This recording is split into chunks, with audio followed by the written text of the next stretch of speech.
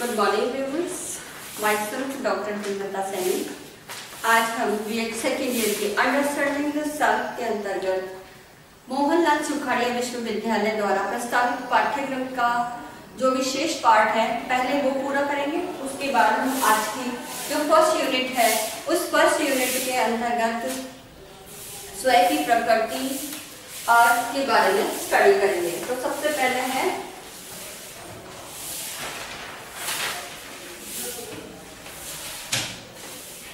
आपका सिलेबस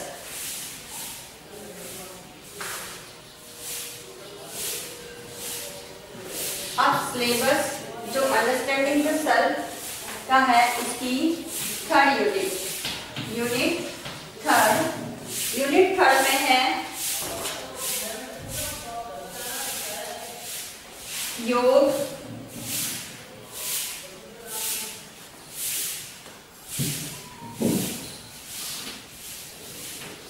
दर्शन एवं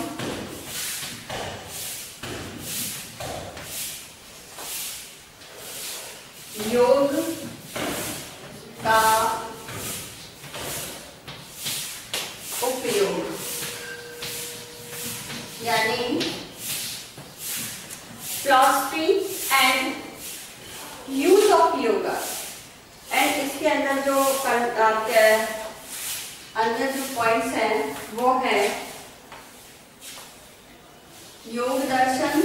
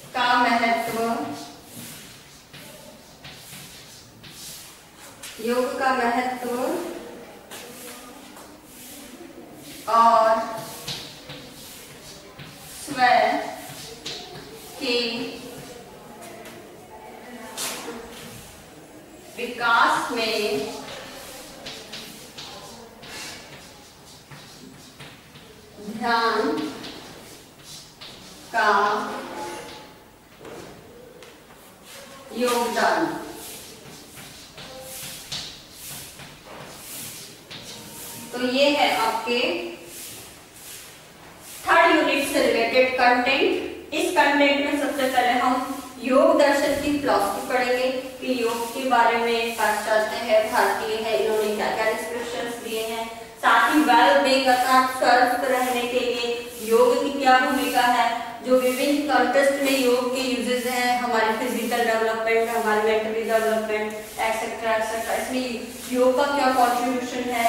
And at the last point is meditation तो इम्पोर्टेंस ऑफ़ मेडिटेशन एंड जो सेल्फ डेवलपमेंट है, हमारा, स्वयं का जो विकास है, उसके में ये जो ध्यान है इसका क्या कंट्रीब्यूशन है? तो ये सब हम इसकी स्टडी करेंगे। साथ ही इसी यूनिट से रिलेटेड आपका सेशनल वर्क भी है कि योगा अभ्यास के द्वारा, यानी practice of yoga exercise of and meditation यानी आप योग का अभ्यास कराएँ और जब आप इंटर्नशिप के दौरान अपने 96 डेज़ की इंटर्नशिप पे जाएँ तो आप ध्यान और योग, इनकी प्रक्रियाएँ या अभ्यास बच्चों को असेंबली के अंदर आजकल तो कंपलसरी कर दिया है, वो करवाएँ और उस पर प्रतिवेदन लिखें तो ये सब आपके सत्री कार्य हैं। अब इनसे रिलेटेड जो सेशन वर्क है, वो आपको बाद में दिया जाएगा। लेकिन बट आपके यूनिट वाइज ही जो जो भी एक्सरसाइज आपके सत्री कार्य में इन्वॉल्व होनी है, अभी सिर्फ़ उसकी, उसका आपको एक इंट्रोडक्शन दिया गया है। अब हम आज की फ़र्स्ट यूनिट स्टार्ट करते हैं।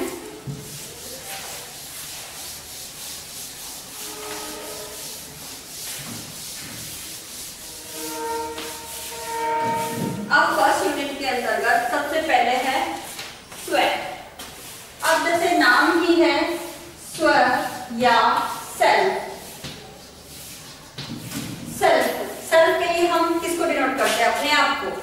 अब अपने आप के अंदर ये कहा गया है कि हमारा जो सेल्फ है, उस सेल्फ के लिए जब हम इसकी रिकॉग्नाइज करते हैं, उसकी पहचान करते हैं तो हम अपने बारे में किस तरह से पहचान करते हैं?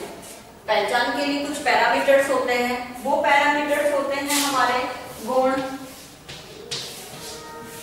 विशेषता। हमारी आदतें, हमारी हॉबीज हमारे वैल्यूज़ हमारे जो मूल्य हैं, वह भी क्या है? हमारे सेल्फ को एक डिनोट करते हैं। हम अपने बाप के लिए कहते हैं कि मैं प्रकृति प्रेमी हूँ। मैं अपने आप के लिए, मैं एक अच्छा पेंटर हूँ। मैं अच्छा गीतकार हूँ। दैट इज़ ऑल ओवर विशेषता, हमारी विशेषता या गुण तो ये सब क्या है? हमारे सेल्फ की पहचान कराने के लिए हमारे अंदर जो भी हमारी गुण, विशेषता, आदर, हमारे जो वैल्यूज़ हैं, हमारी आदतें हैं, हमारे आइडियल्स हैं, ये सब क्या करते हैं? हमें दूसरे लोगों से एक अलग पहचान देते हैं। तो वो पहचान क्या होती है? अलग। किससे? अन्य से। अन्य या दूसरों से। हमें एक अपनी पहचान कराते हैं। कि मैं इन सबसे डिफरेंट हूँ। एक यूनिक हूँ। वो यूनिक किस रूप में? कि मैं, मेरे अंदर ये विशेषता है, ये गुण है, इस प्रकार से। अब अब ये जो हमारी सब क्या कहलाती है? ये सब हमारी कहलाएगी व्यक्तिगत विशेषता। इस, अब हम जो बात कर रहे थे, उसमें जो भी ये गुण, विशेषताएँ, आदतें वैल्यूज़ इत्यादि है, वो हमारी व्यक्तिगत विशेषताएँ कहलाती है। अब ये व्यक्तिगत जो विशेषताएँ हैं, अब ये व्यक्तिगत विशेषताएँ क्या है? एक, क्रमागत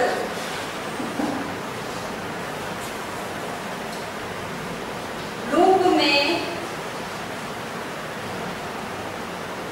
इन विशेषताओं का क्या होता है विकास होता है क्रमगत रूप में एक सीक्वेंस के साथ बढ़ता है मतलब हमने साइकोलॉजी के अंदर जब आपने फ़र्स्ट पेपर में पढ़ा होगा तो उसमें विकास के विभिन्न डिफरेंट स्टेजेस आयु के अनुसार कि उनका शारीरिक विकास कितनी उम्र में कितना हो रहा है कितने माह में कितना हो रहा है एडोलसेंस कब तक हो जाता है तो इट्स मीन और आज ये जो हमारी विशेषताएँ हैं जैसे जैसे हमारा शारीरिक मानसिक सामाजिक नैतिक ये विकास जो होता जाता है उसी के अनुसार हमारी ये जो विशेषताएँ हैं इन इनका रूप भी परिवर्तित होता जाता है साथ ही अगर इसमें एक चीज़ और देखना है कि तो ये कई रूपों में ये जो विकास है क्रमागत विकास अब ये क्रमागत जो विकास है ये अलग अलग रूप में कभी कभी ये क्रमागत जो विकास है वो प्रतिष्ठा हमारी प्रतिष्ठा के रूप में परिवर्तित होता है यानी जब हमारे अंदर हमारे गुण हम एक अच्छा कलाकार बन जाते हैं, एक एग्ज़ाम्पल देती हूँ। अच्छा कलाकार बन जाते हैं तो समाज में हमारी प्रतिष्ठा होती है। तो ये प्रतिष्ठा भी हमारे गुण और विशेषताओं के आधार पर होती है, जो हमारी सेल्फ की एक पहचान कराती है। और तीसरा जो इसका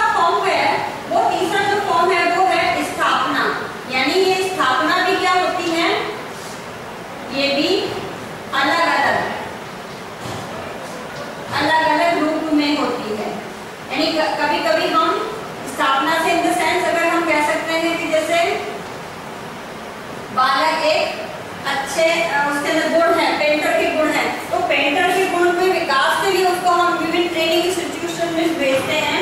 तो ये एक तरह स्थापना का फॉर्म है जो उसको एक पेंटर के रूप में डेवलप करेगा। तो ये भी जो उसकी व्यक्तिगत विशेषताएँ हैं, उसको समाज में एक अलग पहचान दिलाएगा।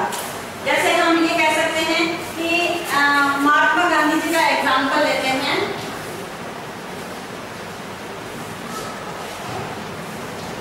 गांधी जी का एग्ज़ाम्पल हम लेते हैं। तो महात्मा गांधी के जो गुण है, वो गुण है सत्य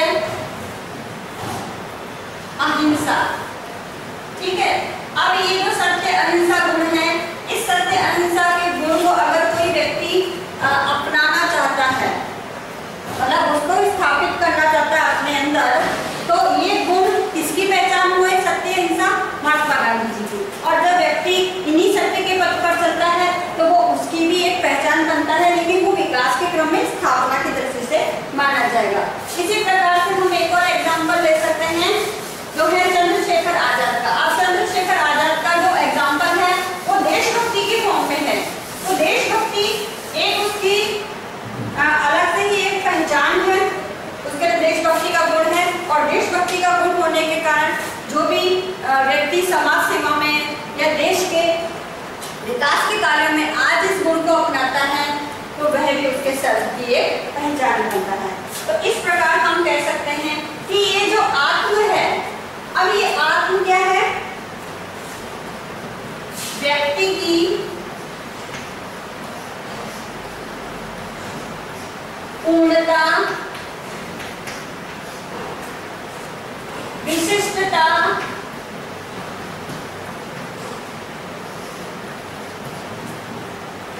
एवं संबंधता।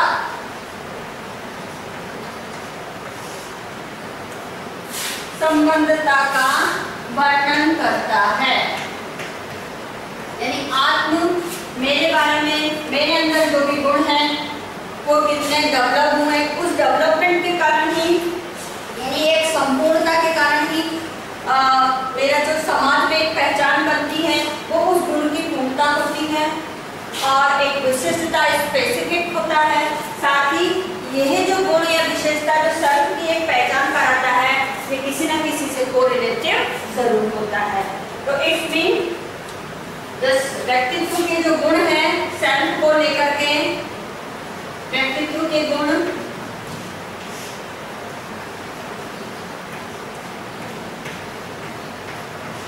अब व्यक्तित्व के जो गुण हैं, ये क्या है? पहचान कब बनेगी? जब हम दूसरों से अलग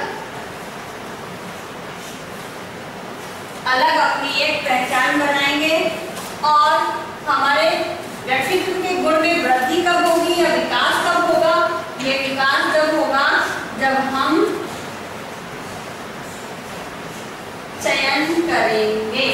इन द मीन्स हमारे समाज में वैरायटी ऑफ़ आइडियल्स हमारे लिए मौजूद है। चाहे सोशल वर्कर को लेकर के कह लेते हैं, चाहे एक हमारे आदर्श शिक्षक के रूप में लेके कह सकते हैं, या सोसाइटी में प्रतिष्ठित व्यक्ति है, या पॉलिटिशियन है एनीबडी एल्स तो इन एनीबडी एल्स के अंदर हम किस व्यक्तित्व के गुण का सिलेक्शन करके अपने गुण के अंदर उस चीज़ को इम्प्रूव करते हैं? फॉर एग्ज़ाम्पल जैसे अरविंद है अरविंदो है आ, उन्होंने या फिर हम कह सकते हैं आ, कोई भी एग्ज़ाम्पल जैसे सुभाष चंद्र बोस है या हमारे क्लासरूम में ही हमारा जो स्कूली एनवायरनमेंट है इस स्कूली एनवायरनमेंट में ही एक ऐसा शिक्षक है जो हमारे लिए आइडियल है।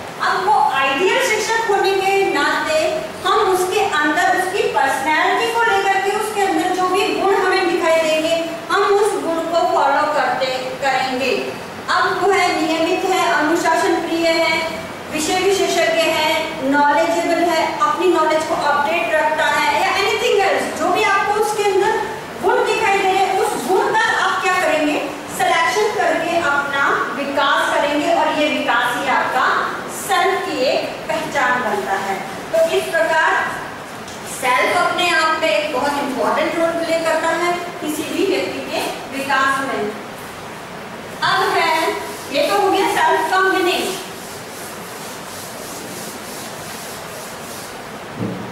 अब है आत्म यानी सेल्फ की परिभाषा। अब सेल्फ की परिभाषा किसने दी है? सेल्फ की परिभाषा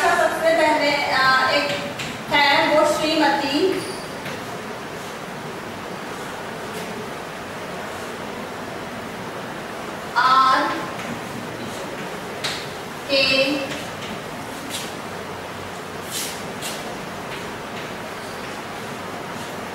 शर्मा के अनुसार। अब इन्होंने जो सेल्फ की डेफिनेशन दी है, वो ये है कि आत्म संरचना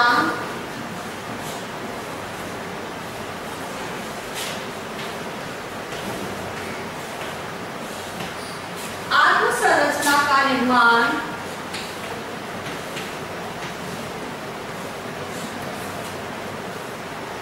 जीवन की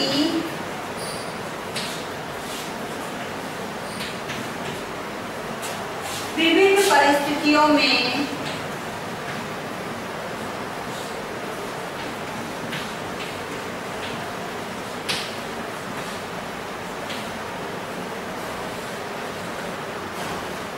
जीवन की विविध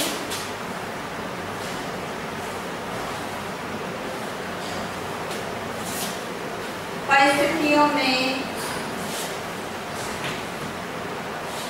कुशलता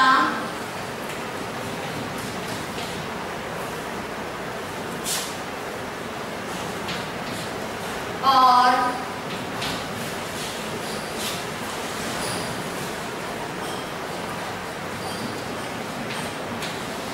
योग्यताओं के प्रदर्शन से है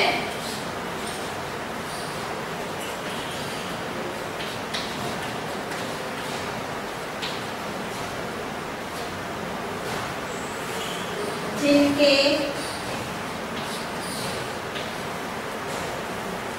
माध्यम से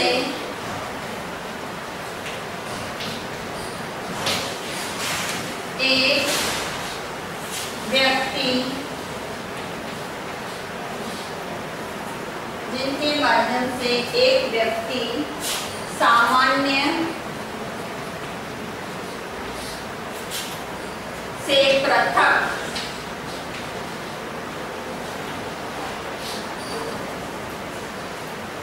पहचान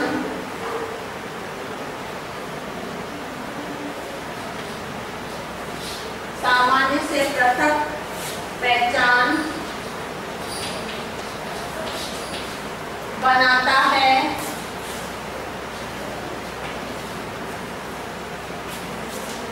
तथा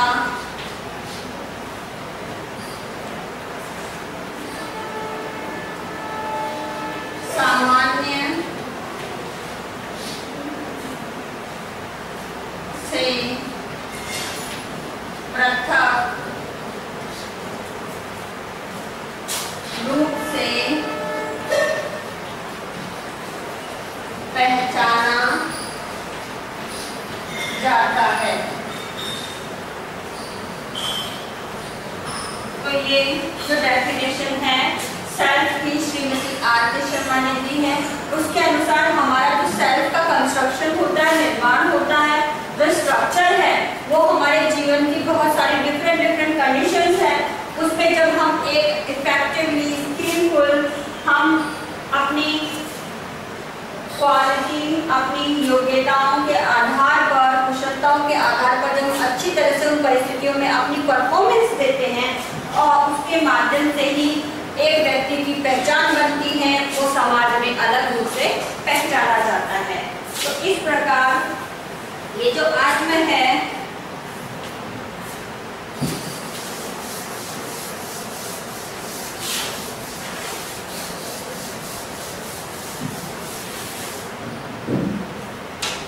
अब आत्म में क्या है विभिन्न प्रकार की स्थितियाँ। सबसे इंपॉर्टेंट क्या है? इसमें विभिन्न प्रकार की स्थितियाँ विद्यमान होती है। और इस विभिन्न प्रकार की स्थितियों के अंदर ही व्यक्ति व्यवहार करता है और व्यवहार के माध्यम से ही अपनी कुशलता या कुशलताओं और अपनी योग्यताओं में वृद्धि करता है। तो दिस इज़ द सेल्फ और ये सेल्फ क्या है? अन्य व्यक्तियों से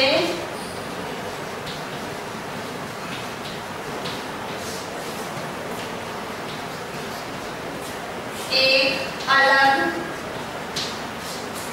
पहचान व्यक्ति की बनाती है एक अलग उसकी समाज में पहचान बनती है। और इस आत्म संरचना का निर्माण,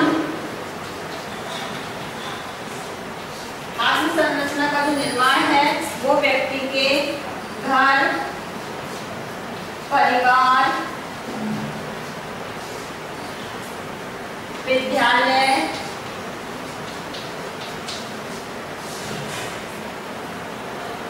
समाज एवं राष्ट्र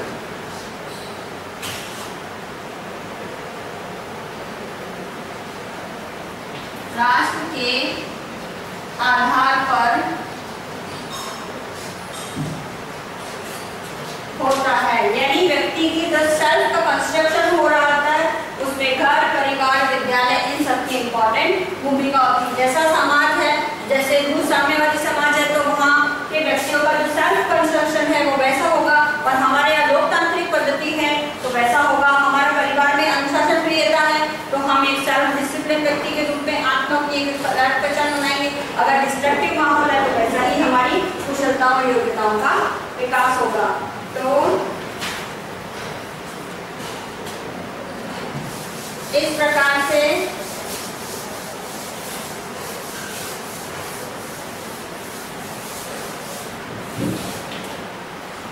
हमारा व्यक्ति बाह्य आचरण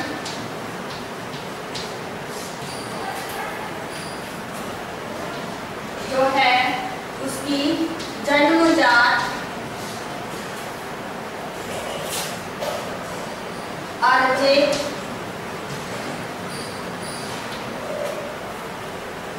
वृत्तियाँ वृत्तियों उसकी आदतों और स्थायी भाव उसके आदर्श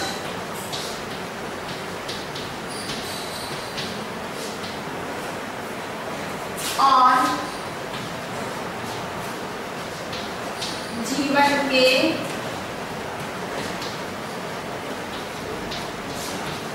मूल्यों के रूप में क्या है उसके आत्म संरचना का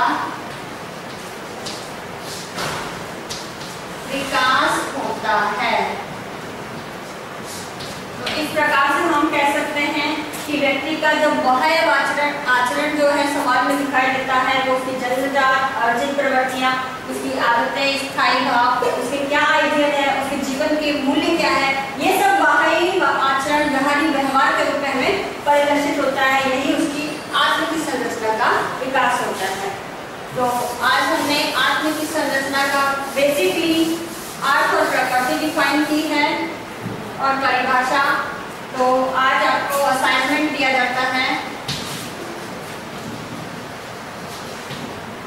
इस असाइनमेंट में आपको एक क्वेश्चन दिया जाता है कि स्वर्ण का अर्थ परिभाषा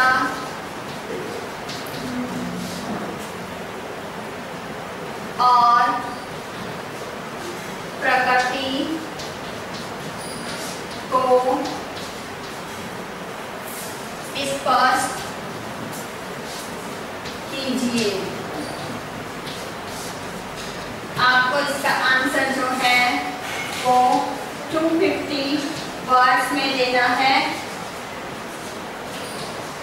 साथ ही एक और असाइनमेंट आपको दिया जाता है कि जब भी आप कॉलेज से कॉलेज में आएँगे, अपने साथ पाँच पाँच मार्क्स बना के लेके आए, घर से जितना हो सके बाहर मत निकलिए। आवश्यक हो तो भी बाहर घर से बाहर निकलिए।